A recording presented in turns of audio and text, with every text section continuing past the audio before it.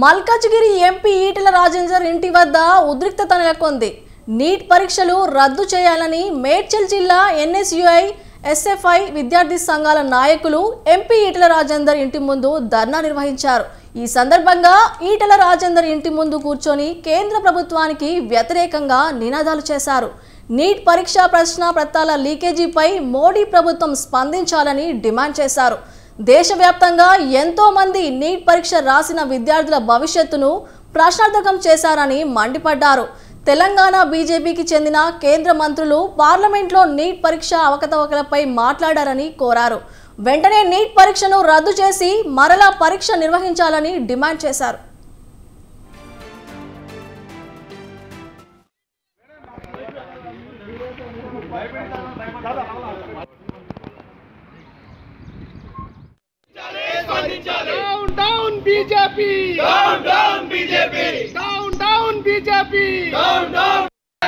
చేయాలి We want justice We want justice We want justice local పైన విచారణ జరిపించాలి జరిపించాలి జరిపించాలి నీటి ఎగ్జామ్ రద్దు చేయాలి రద్దు చేయాలి నీటి ఎగ్జామ్ రద్దు చేయాలి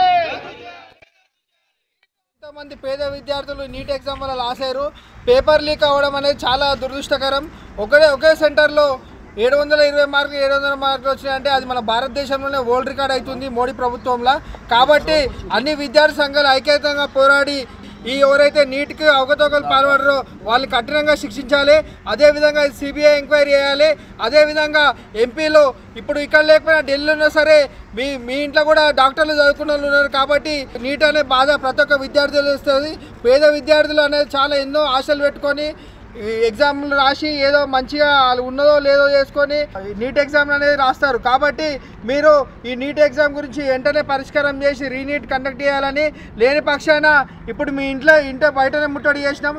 తర్వాత మీ మీ మొత్తం పార్లమెంట్ కూడా దిగ్భ్రాంతం చేస్తామని అన్ని ఎన్ఎస్ ఎన్ఎస్యుఐ ఎస్ఎఫ్ఐ అన్ని స్టూడెంట్ ఆర్గనైజేషన్ హెచ్చరిస్తున్నాం. నీట్ ఎగ్జామ్ వల్ల ఎంతోమంది పేద విద్యార్థులు నీట్ ఎగ్జామ్ వల్ల లాస్ అయ్యారు పేపర్ లీక్ అవ్వడం అనేది చాలా దురదృష్టకరం. ఒకే ఒకే సెంటర్లో ఏడు వందల ఇరవై మార్కులు ఏడు వందల మార్కులు వచ్చినాయంటే అది మన భారతదేశంలోనే వరల్డ్ రికార్డ్ అవుతుంది మోడీ ప్రభుత్వంలో. కాబట్టి అన్ని విద్యార్థి సంఘాలు ఐక్యతంగా పోరాడి ఈ ఎవరైతే నీట్కి అవకతవకలు పాల్పడరో వాళ్ళు కఠినంగా శిక్షించాలి. అదేవిధంగా సిబిఐ ఎంక్వైరీ చేయాలి. అదేవిధంగా ఎంపీలు ఇప్పుడు ఇక్కడ లేకపోయినా ఈరోజు బీజేపీ ఎంపీ ఈటల రాజేందర్ గారి ఇడ్లీని ముట్టడించడం జరిగింది. ఎందుకంటే నీట్ ఎగ్జామ్ అవకతవకలు జరిగి ఇప్పటి వరకు విచారణ కూడా చేయలేదని చెప్పేసి దాదాపు ఇరవై నాలుగు లక్షల మంది విద్యార్థులు ఎగ్జామ్ రాస్తే ఇప్పటికీ అవకతవకలు జరిగినాయని చెప్పేసి విద్యార్థి పేరెంట్స్ విద్యార్థులు రోడ్లపైకి వచ్చి మాకు సమాధానం చెప్పాలని చెప్పేసి అడుగుతున్నా కూడా ఇప్పటి వరకు బీజేపీ ప్రభుత్వం నరేంద్ర మోడీ ప్రధానమంత్రి గారు స్పందించకపోవడం సిగ్గుచ్చేటని చెప్పి భావిస్తూ ఉన్నాం.